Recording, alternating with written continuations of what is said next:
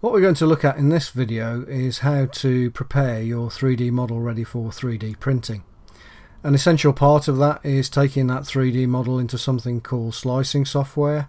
And what slicing software does is break up your 3D model into very thin, almost 2D slices for your printer to be able to print out and reconstruct your 3D model. In the case of Ultimaker, that slicing software is called Cura and this is what it looks like on the screen. This is Cura 3.0 which is the very latest version of the software. When you install it for the first time it will ask you what type of printer you're going to be using. You can see here at the top it's now specified as an Ultimaker 2 Plus. If you do find at some point that you will be using a different printer then you can actually change that from that drop down menu.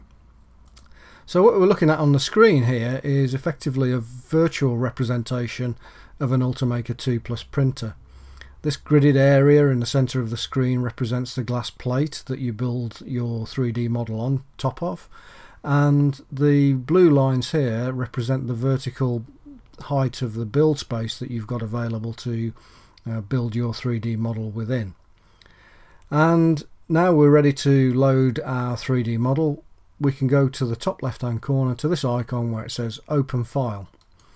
It's then going to go looking for a file in a certain format. You should have exported your 3D model out from whatever environment it was designed in in a file format that Cura can actually understand.